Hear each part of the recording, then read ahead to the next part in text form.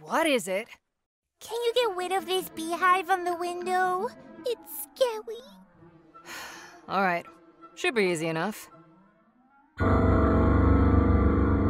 Flora. You're the best. Welp.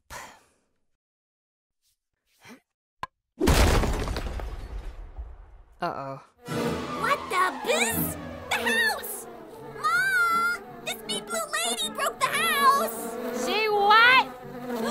Go get your dad on the phone.